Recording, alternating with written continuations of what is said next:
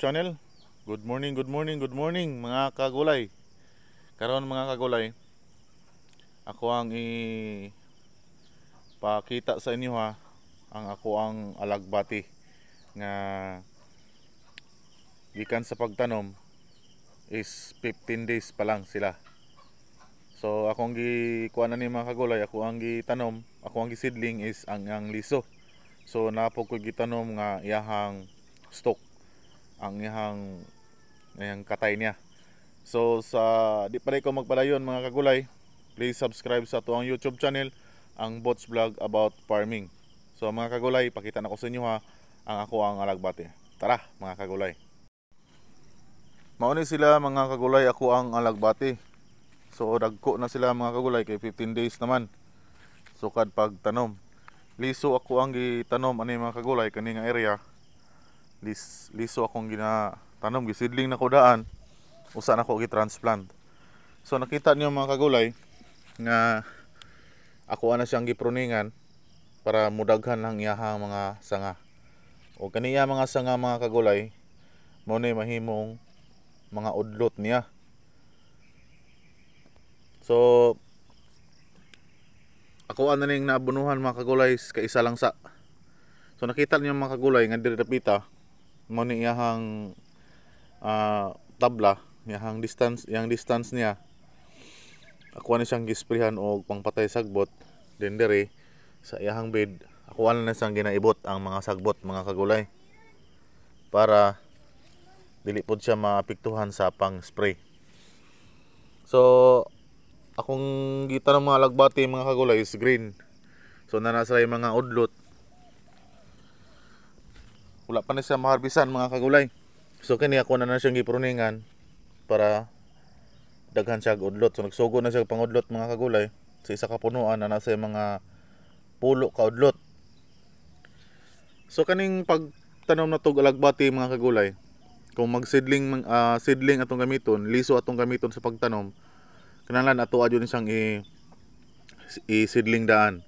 So pag abot niya og uh, 10 days gikan sa pagturok or 15 days gikan sa pagturok ato na siyang i-transfer sa ato ang plat. So gikan pud sa pag-transfer mga kagulay ato apo na siyang hulaton og mga 15 days or 10 days usa nato siya i-pruning. So kani mga kagulay kailangan yun nato na siya nga i-pruning kay kuan man siya kaning liso man siya nga atong ipaturok para dili siya mutaas dili pud siya mutaas ang iyang udlot kun dili mudaghan hinuon kung ato siyang i-pruning. Like for example mga kagulay naatay wala na pruning dire kani wala na to na siya na pruning. So ang iyang udlot mga kagulay is gamay ra. Dili siya parehas ani ato ang na pruning mga kagulay. Kani katuam ning na pruning daghan siya udlot. So atong nakita mga kagulay, nga nagsanga-sanga siya. So uh, kaning isa nga wala mapruning mga kagulay, wa jud siya ang uh, nasa sanga pero gagmay. Dugay pa siya mga kagulay, dugay pa siya ma uh, makasanga tungod kay wala man nato siya mapruning. So araw-aron siya mudaghan iyang sanga mga kagulay, ato ana siyang putlon. Pruningon nato na siya diri putlon nato ni siya diri sa iyang udlutan. So ana siya mga kagulay. Pero pag humana to putol mga kagulay uh, ato ala lang siyang i uh, kung magpruning tatanan mga kagulay ato ada siyang isprayan og fungicide para kining ihang kining ihang ato ang pinutlan dili siya duolon og punggos. Kay uh, kung madili na to siya spray dili na to siya ma-sprayhan na posibilidad nga uh, atakon siya punggos labi na kung ting-ulan. So ato po ni siyang putlon mga kagulay. Kay naatay wala na pruning.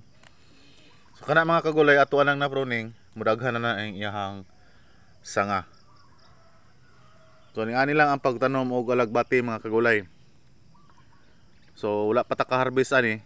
Uh, mga next month tingali magsugod na taon ni harvest magsugod na og uh, pangudlot ang iyahang mga ang kani mga alagbati so ako ang giabono ani mga kagulay is uh, urea lang og amusol. Moro na ako ang ginaabono kay dahon padahon naman siya patambok naman siya ug padag sa uh, pa tag sa ihang udlot So ang pag-abono ani mga kagulay dili jud ingon siya nga weekly, dili pud siya ingon nga 15 days kun dili ah, nagdepende lang pod ni mga kagulay sa iyahang pagtubo sa udlot. Matan-aw na to mga kagulay nga magsige na tag-harvest og alagbati. Unya ang ato ang udlot sa alagbatis gagmay na.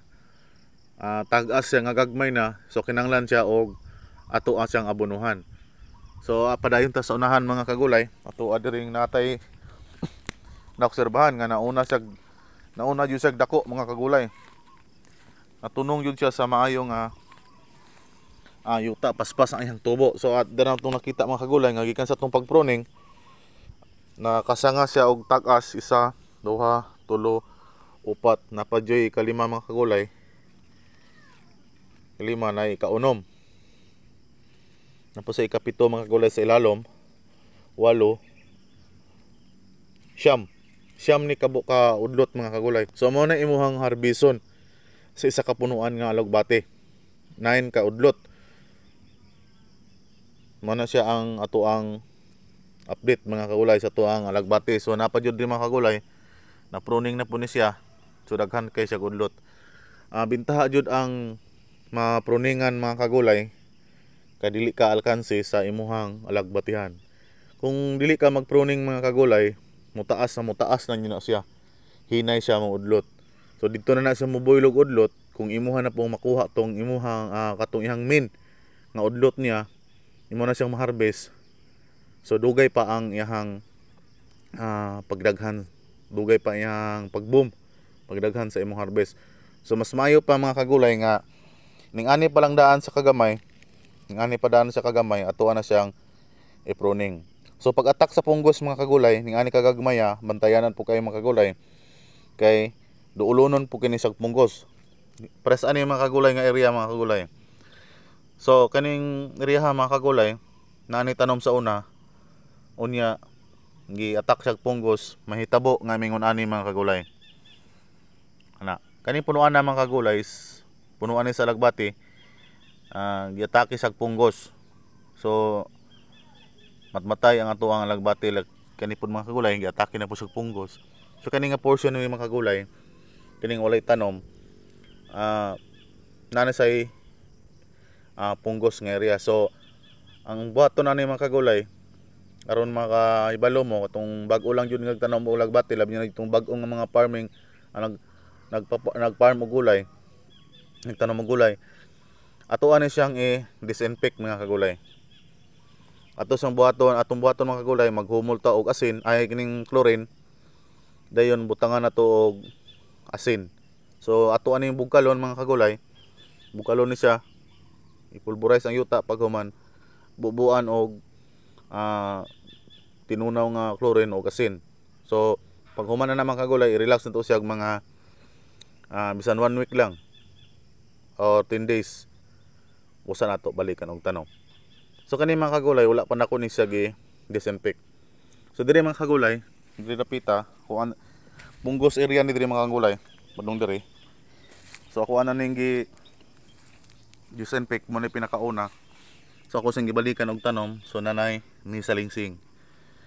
Nana. Balikan ako sa tanom, so okay na ang iyahang kuan mga kagulay iyang area. Diri pod mga kagulay pating tambuka sa ato ang alagbati. Padong na na sa tumoy mga kagulay. So muni na to ang update sa tong bagong tanom mga kagulay. Sa ato ang seedlings nga alagbati. Seeds na diri mga kagulay. So diri sa unahan mga kagulay, ang stock po ako nang initanom dire so na, ako ang pag distance sa atong pagtanom mga kagulay kung stock atong gamiton is ng ani lang. Dugol-dugolon jud siya mga kagulay wala ra say dangaw. Para kung mamatay na sinaay mamatay nga stock malaya dili ka survive sa init so napay uban niya nga mapuli. So dili na ka magpuna-puna dili na ka hasol ang imong trabaho makagulay pag sugod na tanom dugol-dugulo na lang para diretso-diretso na ang iyang to iyang ah, kung mabuhi tanan mas mayo kung mamatay napoy kapulin naasay kaduol plus ani mga kagulay namatay siya so nang isa na buhi So eh, napo isa alanganin napo isa nabuhi. So ana na siya mga kagulay para dili na ka magbalik-balik sa imong trabaho. So kaning itong alagbatihan din mga kagulay, duha ang gitamnan ako nga stock.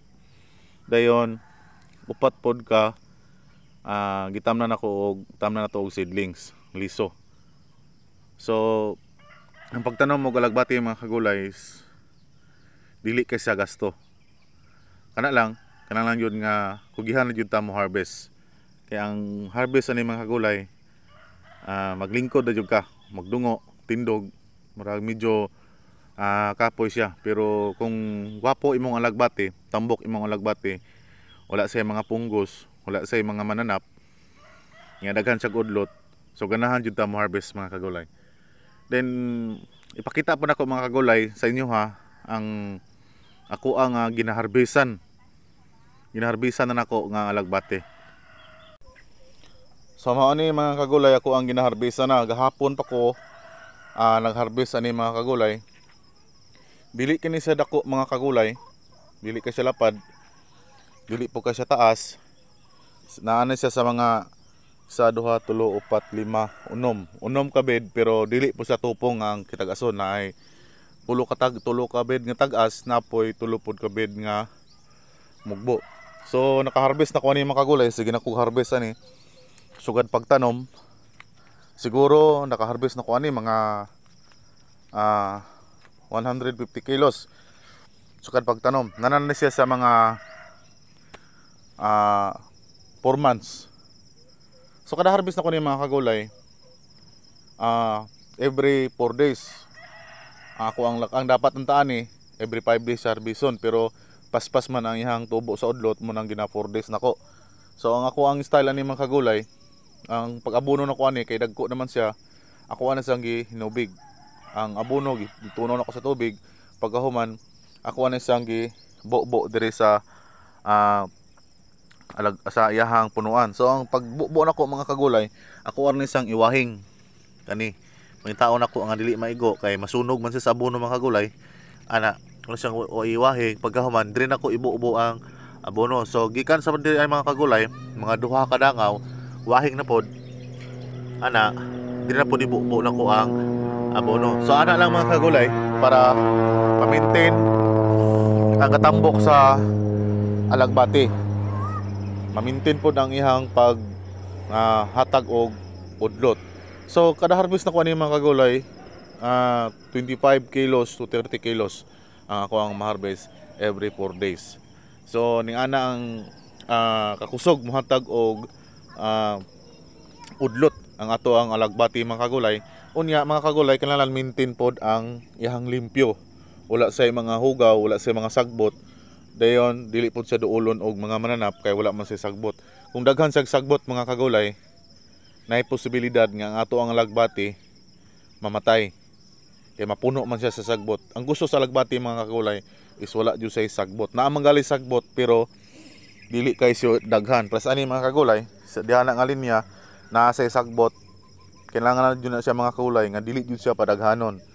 Uh, by this week malimpi malimpisahan jud na siya So kani mga kagulay diri nga area kani mo ni jud pinakadaghan ako nga uh, ma-harvest. Uh, kani dili kani siya dako pero sigurado kay ko mga kagulay nga sunod ako harvest na napuni sa mga 25 to 30 kilos. So duha ni ka klase ako ang alagbati mga kagulay ay tulo na pula na ay uh, hybrid na po say kining tawag nila nga uh, Bisaya man kuno. Pero wa pa ko kabalog unsay mga uh, variety sa lagbati mga kagulay. At least nga kani akong gitanong mga kagulay mo ni siya ang halinon kayo sa market. So mo itong update mga kagulay. Uh, salamat kayo sa inyong pag tanaw sa tuang YouTube channel ang Bots Vlog about farming. Ay lang pud pagkalimot sa pag-subscribe then share sa ato ang YouTube uh, sa tuang mga uploads then comment lang pod sa inyong mga uh, inyong mga idea kung sa inyong mga pangutana mga kagulay kung kaya nako tubagon ato ang tubagon. Then uh, click the notification bell para pod ma-update mo sa kuha mga upload ng mga videos. Salamat mga kagulay. God bless and thank you